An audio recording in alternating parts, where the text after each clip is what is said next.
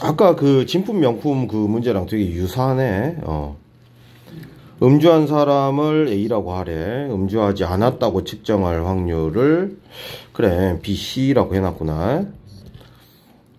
그러면 일단은 여기 잘 잡은 것 같아. 어. 그리고 음주했다고 측정 어, 잘 해놓은 것 같긴 하네.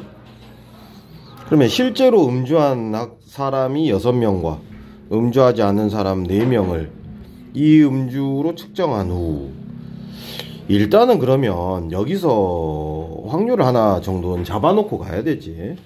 여기 여기. 표본을 아예 정해줬어. 그러니까 음주한 사람 PA가 얼마다? 10명 중에 6명이니까 0.6이 되는 거지. 그리고 음주하지 않는 사람은 0.4가 되겠지 자 그랬을 때 임의로 한 사람을 택하였을 때 그 사람이 음주했다고 측정될 확률인 P, B를 계산하라는 소리네. 음주했다고 측정. 맞지? 음. PB는 당연히 A 곱사건 B일 수도 있고 A 여사건 곱사건 B가 될 수도 있는 거네. 맞지? PA 곱사건 B를 먼저 빠르게 어, 추려내 봐야겠네. 먼저 1번식을 정리를 해보면 P, B, C는 아, P, 아이고, 미안하다. PA 곱사건 BC는 0.2로 PA라고 정리할 수 있겠고, P, AC 곱사건 B는 0.2 PB라고 정리할 수가 있어. 자, 그러면, 먼저,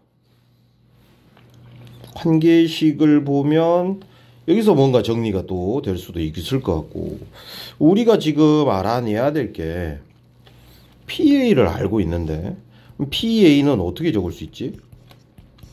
A 곱사건 B 플러스 A 곱사건 BC라고 정의 내릴 수가 있잖아 그런데 지금 우리가 알고 있는 게 이게 0.6이고 얘는 어차피 구해야 되기는 해 그리고 얘는 우연찮게 좀 식으로 찾을 수가 있게 돼 버렸거든. 여기 여기. 이렇게. 그러면 음 근데 PA도 알잖아 지금. 생각해 보니까 이거 계산할 수가 있었네. 0.15 곱하기 0.6이니까 90이니까 0.9가 되겠네? 그지? 아닌가? 90 소점 3개 하나, 둘, 셋. 어이구, 큰일 날 뻔. 아, 그러니까 얘가 0.09네. 그치? 그래서 PA 곱사건 B는 이항을 해보면 0.51이 되네. 0.51.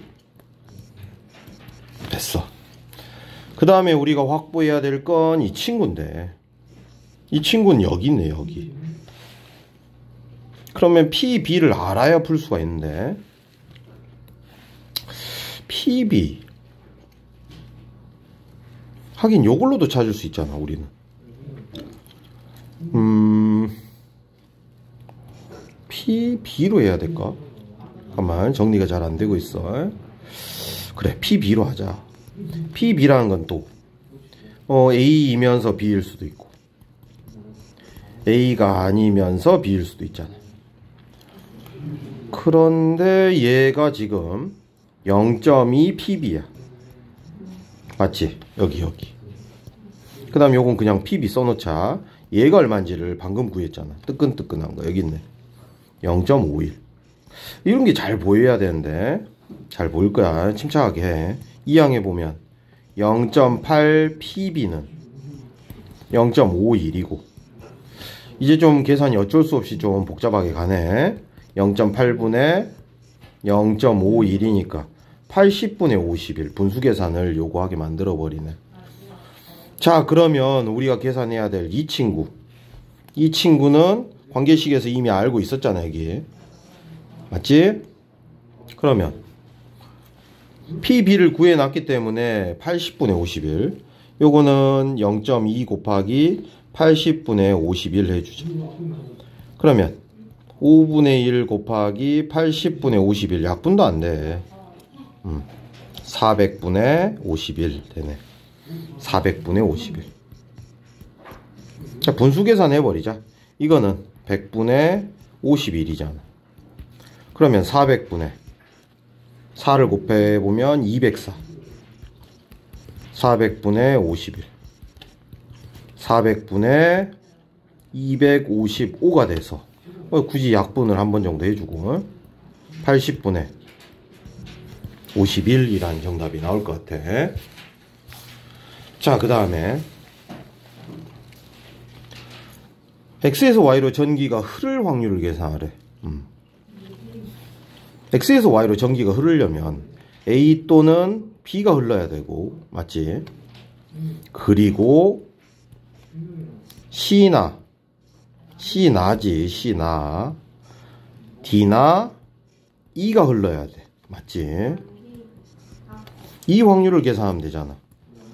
둘 중에 하나, 적어도 하나가 닫혀야 되고, 셋 중에 하나, 적어도 하나만 닫혀 있으면, 그리고 필수로 여기는 전기가 통해야 되는 거니까. 자, 그래서 이 상황에서 이제 정답을 찾아주면 될 것 같은데. 음. 맞지? A나 B 적어도 하나. 그리고 CD 중에 적어도 하나. 맞네. 자, 마무리해 보자. 일단 PA 합사건 B는 PA 플러스 PB 마이너스 PA 곱사건 B인데 A와 B는 독립이겠지 물론. 독립적으로. 자 그러면 3분의 1 더하기. 3분의 2 닫혀야 전기 통해 곱해야 되지? 독립이니까 9분의 2가 되는 거지. 그럼 얘는 음, 1 빼기 9분의 2니까 9분의 7이 되겠네. 됐어 그 다음에 P. C 합사건 D 합사건 2를 계산하지 좀 복잡할 거야 이거는? 3개니까. PC PD P2 빼기 P C 곱사건 D 빼기 P D 곱사건 2 빼기 P E 곱사건 C 더하기지 한번 P C 곱사건 D 곱사건 2가 되는 거야. 그러면 2분의 1 더하기 3분의 1 더하기 6분의 1 이거 순차적으로 지금 계산 중이야. 자 그러면 이렇게 곱한 거니까 얘는 6분의 1이지. 그 다음에 얘는 D2니까 요건가 보네 18분의 1 그 다음에 얘는 2C니까 요거지 요거 12분의 1 더하기 얘는 3개 다 독립이니까 싹 곱해주면 36분의 1이 더해지겠지. 그럼 계산 마무리 해줘야 돼. 약분 내고. 아이고 귀찮지만 36분의 18 12 2 빼기 3 더하기 1 36분의 이렇게 다음 30이고 31 빼기 5네. 36분의 26이고 18분의 13이 됐어. 힘겹지만 계산해냈거든. 그런데 이제 이 친구랑 이 친구도 어차피 독립이기 때문에 서로가 이제 통해야 되는 거잖아 서로. 연결이 돼 있는데. 근데 어찌됐든 둘은 독립적이라 뭐 이렇게 이제 마무리를 해주면 될 것 같아. 이렇게 얘도 돼야 되고 얘도 돼야 되잖아 그래서 얼마야 9분의 7 곱하기 맞지 여기 18분의 13 결국은 음, 100 얼마냐? 62분의 91 하고 정답이 완성이 될 것 같아. 오류 있으면 꼭 말을 해줘.